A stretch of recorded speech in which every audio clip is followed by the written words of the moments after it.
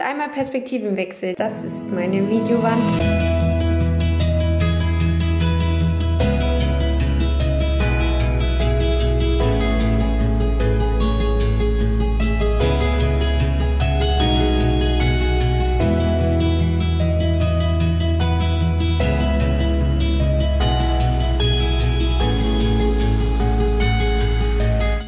zusammen und herzlich willkommen in meinem neuen Studio.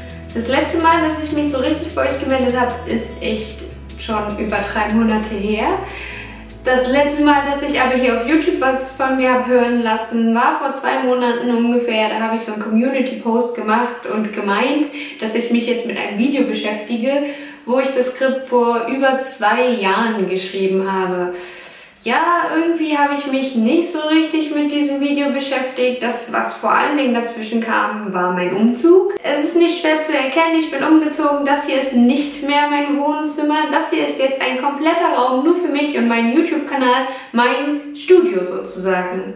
Wenn es so lange her ist, dass man vor der Kamera stand, ist es manchmal ein bisschen schwierig, womit man denn jetzt wieder einsteigt, wenn man wieder voll motiviert ist, produktiv Videos zu machen. Und deswegen dachte ich mir, ist das hier ein guter Anlass, um das Studio kurz vorzustellen, es einzuweihen und für mich wieder ein bisschen Routine im Videos drehen zu bekommen. War das ein grammatischer Satz? Ich habe keine Ahnung. Ein grammatisch korrekter Satz, ne? Ich habe dieses ominöse Video mit dem Skript von vor zwei Jahren jetzt nochmal ein bisschen beiseite gepackt. Ich hatte damals schon geschrieben, erwartet keine Endresultate zu diesem Video. Ich möchte jetzt aber im neuen Jahr einfach wieder Routine bekommen und wieder Content produzieren. Und wann dann irgendwann dieses ominöse Video kommt, mal schauen. Und es werden noch ganz viele andere Videos kommen. Ihr kennt das ja, hier geht es irgendwie immer voran, auch wenn ich mal eine Weile weg bin. Ich hatte erst überlegt, das neue Studio so zu gestalten, dass es aussieht wie meine alte Videowand, also dass man eigentlich keinen großen Unterschied merkt. Aber als ich dann damit angefangen habe, habe ich gemerkt, dass ich ziemlich viel Lust auf was Neues hatte. Und vor allen Dingen hatte ich noch hier dieses äh, Rollbild, sagt man auf Deutsch, glaube ich. Für mich ist das ein Kakemono und das heißt so viel besetzt wie Hängbild, Hängerolle, Rollbild zum Aufhängen, auf Stoff oder Papier gemalt, oben und unten mit je waagerechtem Holzstab. Das beschreibt es ziemlich genau. Das habe ich während meines Auslandsjahres in Japan gemalt und hatte es jetzt im Umzug wieder in der Hand und dachte mir, es ist zu schade, dass es einfach nur rumliegt, deswegen hängt es jetzt da. Das habe ich gemalt, es ist nicht wunderhübsch, es ist nicht so toll, wie diese Kanji. Ich gebe es zu, das sieht noch mal ein bisschen ästhetischer aus.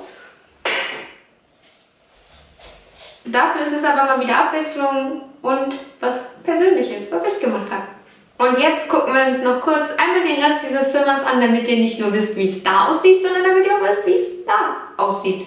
Und einmal Perspektivenwechsel. Das hier kennt ihr jetzt, das ist meine Videowand. Das ist sozusagen die Rückwand des Raumes, also gegenüber vom Fenster.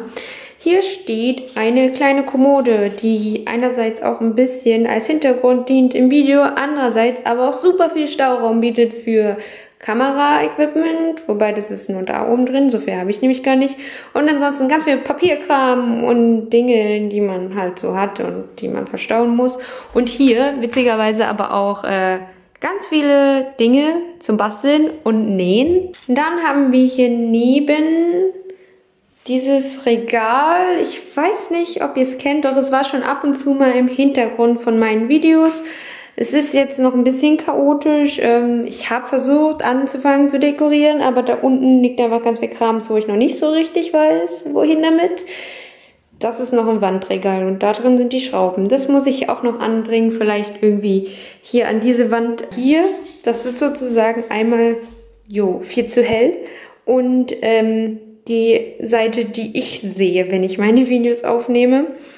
Ähm, das Stativ steht jetzt mitten im Raum, das steht nicht immer da. Das hier ist ein Tisch, das freut mich super. Das wird mein Nähtisch. Also es sieht jetzt super schmal aus, aber ich weiß nicht, wer von euch diesen Ikea-Tisch kennt. Den kann man hier nämlich ausklappen. Dann kann man hier einen größeren Tisch draus machen. Also dann ist da drunter so ein Fuß, den man aufstellt. Und dann habe ich Platz zum Nähen. Da ich das aber gar nicht so oft mache, ist es super, dass das jetzt einfach so beiseite steht und nicht im Weg steht und nicht super viel Platz wegnimmt, sondern Da halt einfach so ein bisschen noch zu viel, aber einfach so ein bisschen Deko und meine Nähmaschine steht. Das sind alles Bücher, die hier irgendwo noch untergebracht werden müssen. Und es gibt noch einen Karton, der ist größer als die beiden Kartons zusammen. Ich habe, glaube ich, zu viele Bücher. Das ist das Fenster. Ähm, das ist mein Schreibtisch. Da steht jetzt noch ein Licht. Sieht jetzt gerade aus, als wenn dieses Licht scheint. Aber nein, eigentlich scheint nur dieses Licht und das reflektiert da drin nur. Das ist auf jeden Fall mein Schreibtisch. Der sieht auch noch immer noch aus wie früher. Der hat nicht wirklich ein System und ähm, hier werde ich dann meine Videos bearbeiten und ab und zu mal einen Livestream machen auf Instagram. Yeah, mittlerweile habe ich schon zwei oder drei Stück gemacht. Ich bin mir gar nicht sicher. Ich glaube drei insgesamt. Über, keine Ahnung wie viele Jahre. Aber vielleicht mache ich das ja mal öfter. Und das war es eigentlich schon. Es ist nur ein 8,8 Quadratmeter großer Raum, aber dafür finde ich, habe ich jetzt schon sehr viel hier reinbekommen und sehr viel daraus gemacht. Es ist einfach perfekt für mich als kleines Studio und ich freue mich halt mega darauf, einfach hier so einen extra Raum dafür zu haben und gerade meinen Schreibtisch und auch die Videowand einfach nicht mehr im Wohnzimmer zu haben, ist jetzt weiß kein großes Problem oder so. Es ist so einfach nur cooler, weil man kann den Raum zumachen und dann kann alles chaotisch bleiben, wie es war. Und eine Sache, die ich jetzt auch in diesem Raum gemacht habe, die will ich euch noch zeigen, die finde ich super gut. Hallo und willkommen auf dem Fußboden. Und zwar habe ich mir hier eine Markierung gemacht, wo ich stehe. Und da hinten habe ich Markierung gemacht, wo mein Stativ steht oder stehen soll.